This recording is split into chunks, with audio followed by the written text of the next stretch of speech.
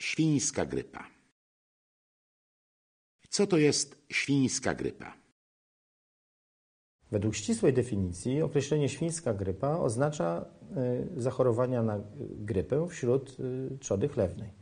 Potocznie y, obecnie używamy tego określenia dla wirusa grypy typu A H1N1 pochodzącego od świń. Ten wirus zawiera w sobie materiał genetyczny wirusa świń, wirusa grypy ptaków oraz wirusa grypy ludzkiej. Jakie są objawy świńskiej grypy? Objawy zakażenia wirusem grypy świńskiej, czyli typu A H1N1, są zbliżone do grypy sezonowej. A więc przede wszystkim jest to gorączka, bóle głowy, bóle mięśni e, czy bóle kości, a także kaszel i katar. E, część osób choruje również z objawami ze strony przewodu pokarmowego, a więc ma nudności, wymiotuje czy e, ma biegunkę.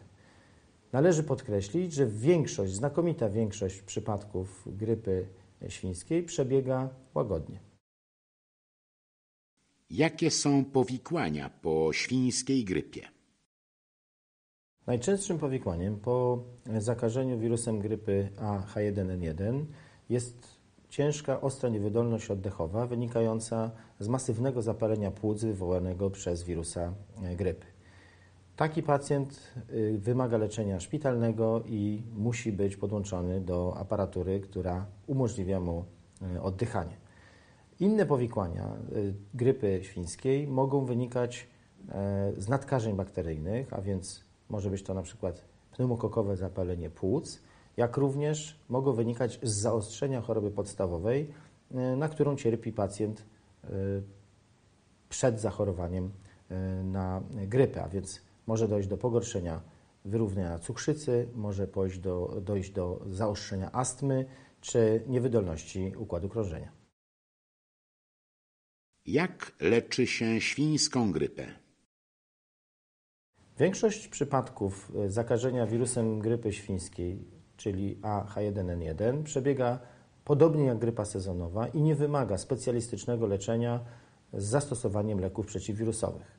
W przypadkach przebiegających ciężko, wymagających hospitalizacji, czy też w grupach ryzyka, można rozważyć zastosowanie leków przeciwwirusowych drugiej generacji, czyli tzw. Tak inhibitorów neuraminidazy. Leki te blokują e, jedno z istotnych białek wirusowych, nie dopuszczając do rozmnażania się wirusa w ludzkim organizmie.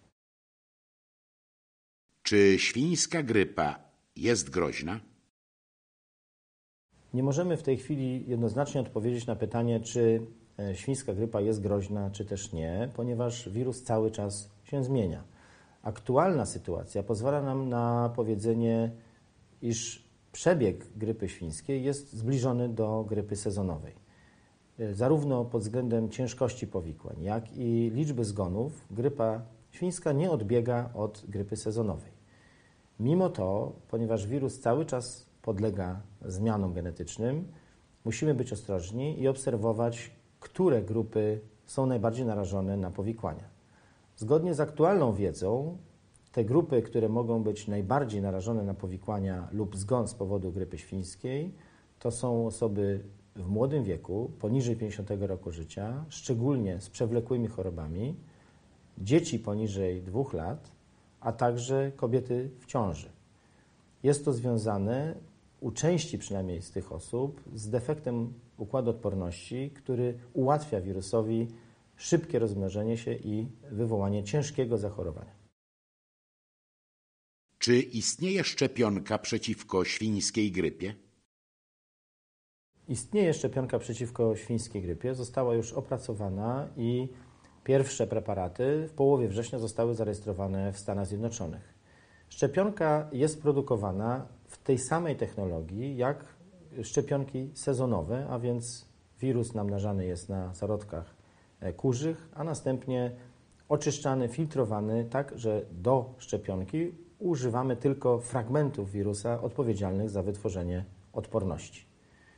Być może, że w trakcie trwania pandemii będą występowały pewne ograniczenia dostępności tej szczepionki, ponieważ zapotrzebowanie jest znacznie większe niż zdolności produkcyjne wszystkich firm farmaceutycznych na świecie.